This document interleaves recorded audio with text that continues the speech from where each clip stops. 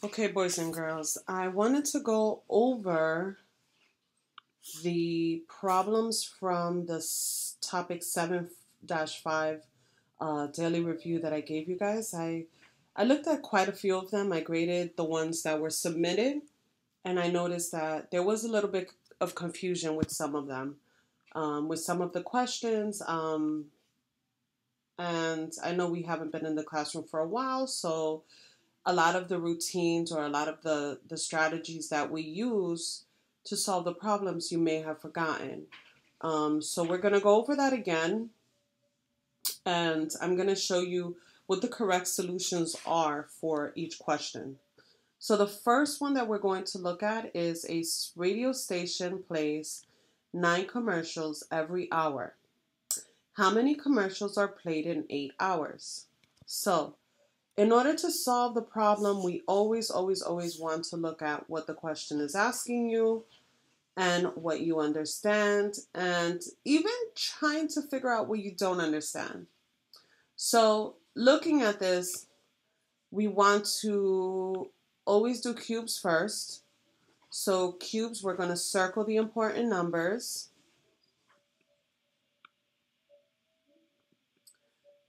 U, we're going to underline the question.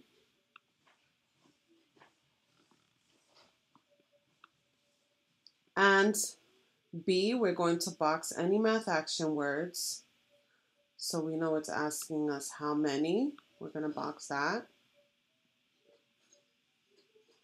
And we know that it's every, even though this isn't a math action word per se, we know that every hour, we know that every, we're kind of, uh, it's more than once. All right, so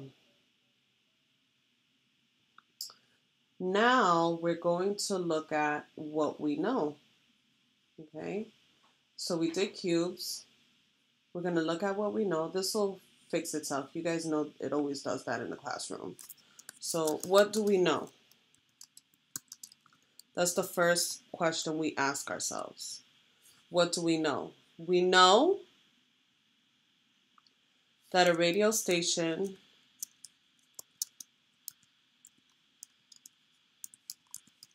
plays nine commercials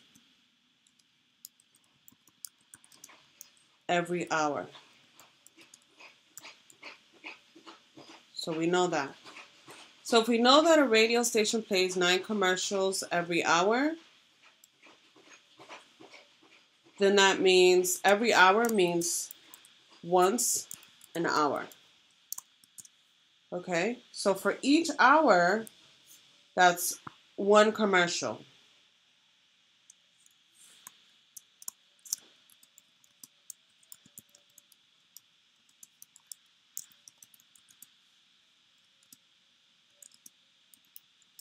Okay, so we know for each hour that's one commercial. The other thing that we know is that the commercials, what they're, what the other thing that we know is that we're trying to find out how many are played in eight hours. So the question is, what we need to find out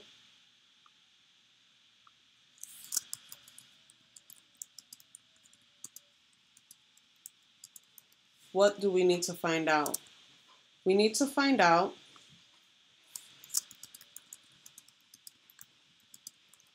how many are played in in eight hours. So we we looked at what we know that's going to help us, and now we're going to look at what we need to find. So putting these two together, we know that if nine commercials play for every hour, and I'm going to do this a little bit differently just to kind of help you guys see how you can go about the sol uh, solving the problem if you don't understand. So we know that there's eight hours. So there's one, two, three, four, five, six, seven, eight. There are eight hours. For each hour, for each hour, nine commercials are being played. So nine commercials are being played here. Nine commercials are being played in the second hour. Nine commercials are being played in the third hour. Nine commercials are being played in the fourth hour. Nine commercials are being played in the fifth hour. Nine commercials are being played in the sixth hour. Nine commercials are being played in the seventh hour. And nine commercials are being played in the eighth hour. So para cada hora se va a ver nueve comerciales. So para el primer comercial se ve nueve horas. A mí para el primer hora se ve nueve comerciales. Para la segunda hora se ven nueve comerciales y vamos a repetir eso hasta los ocho horas. La, los ocho horas. So, what is this? What what would we do? We could use repeated addition. We could add nine plus nine plus nine plus nine plus nine plus nine plus nine. That's one way that we can solve it. We can add it repeatedly, or we could do something else that's faster. You guys know what that is. Correct.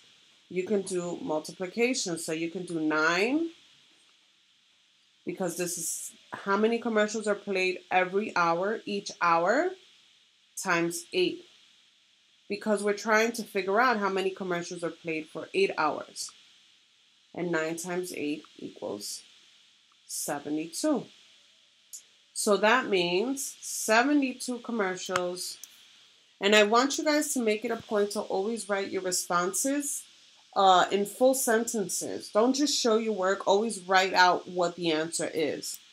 So, the radio station played 72 commercials in eight hours. Let's bring that down. So that's my response to this question.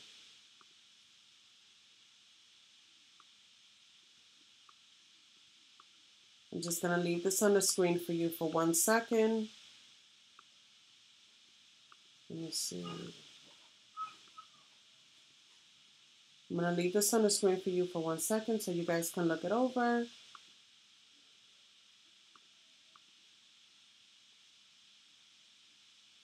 Okay, so that's question number one. Now we're going to go over question number two. I'm going to clear the page. Maybe I'll do a screenshot of it and attach it to the um the post that I put for you guys. So let's clear the page and let's look at the second question. All right. We are going to do the same thing. Remember, guys, Miss Fisher and I emphasize that if you don't know or understand what the problem is saying the first time, always do a three read. Always read it three times. And if you need to read it more than three times, that's perfectly fine. You don't have to worry. You read it as many times as you need to so that you can understand what the problem is asking you. You can pick it apart, take it apart. Remember to ask yourself the same questions. What do I know? So what do we know? We're going to say we because we're doing it together. What do we know? And before that, I want to make sure that we do cubes. So Lewis has $26 to spend at the fair. $26 is the total amount of money that he has. He spends $8 on food, and the rest of his money on games. If the games cost $2 each, how many games did he play? So we're doing cubes. We're going to circle the important numbers. $26, $8, $2. Then we're going to underline the question, which is if the games cost $2 each, how many games did he play? We're going to box the math action words, which is how many and each. All right. And then we're going to Eliminate anything unnecessary, but for this problem, every, all the information is pretty necessary. There's nothing there that's given to us as extra information to confuse us. So we're going to leave it as is, and now we're going to work on S, which is solve. So what do we know? Let's look at what we know. We know, let me change the color. Uh, maybe not that color. Let's try something a little bit darker. Let's do pink. We know that Lewis spent. Actually, the first thing we know is that we know that Lewis has $26. That's the first thing that we know. Okay? That's his that that's his total amount of money. Right? So we know he has $26. The other thing that we know is that he spent $8 on food. So we know that he spent $8 of the $26 on food. What else do we know? Correct. We know the games cost $2 to play. And we also know that he used the rest of his money on games. So that means that he used the money that was left over.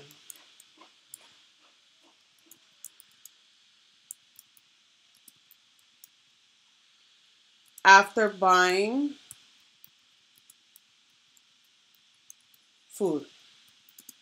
So after buying his food, he used the change, he used the extra money left over to play games. So this is a lot of information that can help us. All we have to do is sort through it. So doing it step by step, we're going to look at the fact that Lewis has $26 to spend on the fair. This is what he starts with. $26 is what he begins with. That's his total amount of money. He spent $8, so we know this. He spent $8 on food of that $26. So we know that we need to take 8 from 26. You can't subtract 8 from 6, so you're going to regroup.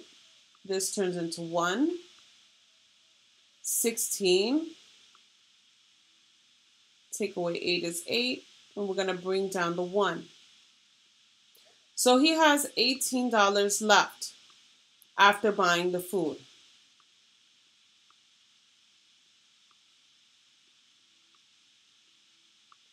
After purchasing his food, now he has $18 left. This is what he spent on food.